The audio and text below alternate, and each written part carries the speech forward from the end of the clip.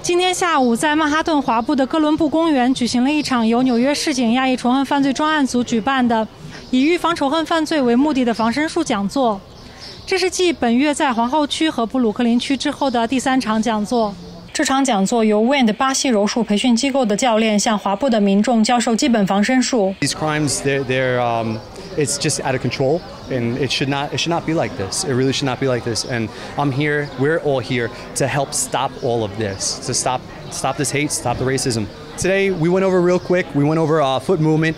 It's very important to learn how to move forward, how to move backwards, and um, from there we went into a couple of strikes. We went into our jab, a double jab, and we went into a cross. Those are just very basic hand strikes. Uh, we went over uh, grabbing the hair pull, very common. Uh, someone grabbing the hair for someone with long hair. Went over how to defend the hair pull when someone goes to grab you, two hands on the back of your neck.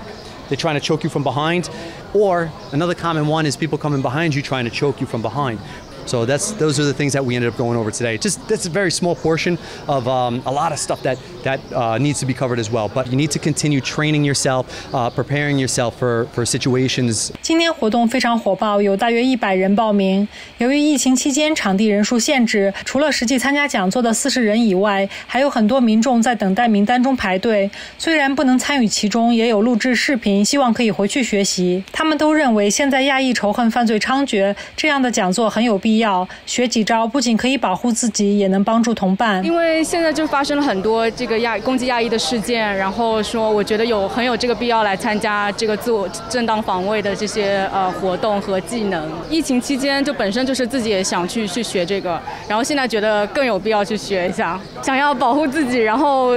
尽可能的可以去帮助同伴，如果遇到了同样的事情的话，对。不要说是说 Asian 的，都很多 crime going on the subway，因为我我都要坐 subway 上班下班，所以觉得学学一两招保护自己，呃，我希望有帮助，但是我也希望用不着。因为我自己也有那个老婆跟孩子嘛，我在想学习一下，也可以教他们，让他保护他们。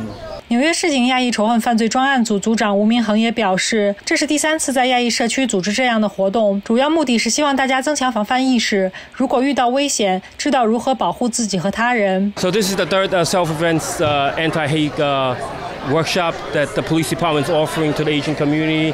That bringing awareness and the basic technique and the knowledge of crime prevention, how not to become a victim. But at the same time, when you become a, a, crime victim of some sort of attack, you have the basic skills of how to defend yourself or help other people.